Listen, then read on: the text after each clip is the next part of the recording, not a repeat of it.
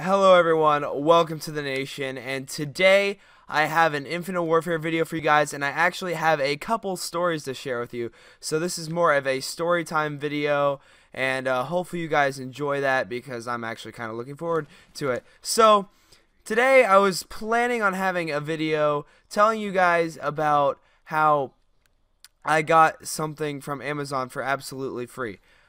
I was going to tell you guys that I got this Call of Duty Infinite Warfare with COD 4 Remastered on the Xbox One for absolutely free from Amazon because basically, in a nutshell, what happened was for the beta, I pre ordered it and then I canceled that pre order and I didn't pay anything to Amazon for it. Just, just like you can do that on Amazon, and so I gave away the code for the beta, and that was that. Well, November 4th came around when the game came out, and basically it was at my door and it was shipped to my door and I had it and I was like, well, I didn't pay for this, so I'll just keep it and I'll sell it. It actually just sold today a, a few minutes ago on eBay for about $70. So that's about $10 less than the game usually is. And um, it also uh, is actually profit for me since I got it for free. And so I'm going to use that money that I got back um, for the season pass. So basically, right now, without the season pass, I only paid $10 for Infinite Warfare by selling the other one. I was going to make the whole video about that today. However, I have a bigger story that just happened to me last night at about 11:30 at night. So, last night my mom and I went to a musical called Into the Woods. Uh, we went to go watch it over in Illinois, which is a state over from where I live. And um, we uh, went over there to go watch that, and basically, we took my car, and that's the musical that we're going to perform this year for my school. So we wanted to go see it to see what it was like. I mean, I've already seen it on the movie, but it wasn't anything like the movie, actually.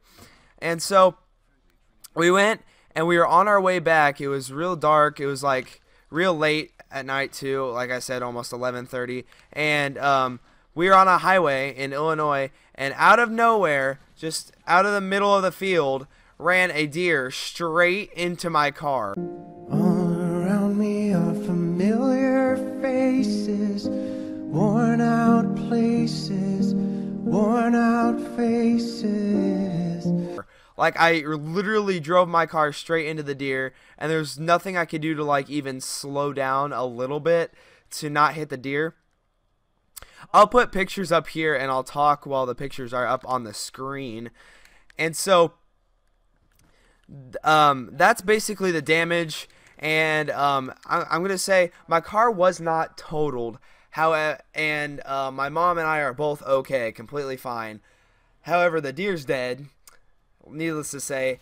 And um, I have gruesome pictures of the deer afterwards, but I'm not to, like, we went and like we like took parts of the deer because we talked to the sheriff and that you're allowed to do that. I'm not gonna put those pictures on um, because it's kind of gruesome, like I said. But yeah, so I had a really bad night last night, needless to say, and so I just wanted to tell you guys about that. I thought those were two really interesting stories, and so hopefully you guys enjoyed. If you did, make sure you leave a like, leave a like for my car, and leave a like for the deer.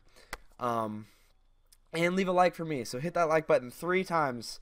Three times. Hit the bu like button three times. Subscribe and join the nation if you haven't already. And I'll see you guys in the next video. Thank you so very much for watching. They ask you how you are, you just have to say that you're fine when you're not really fine, but you just can't get into it because they would never understand.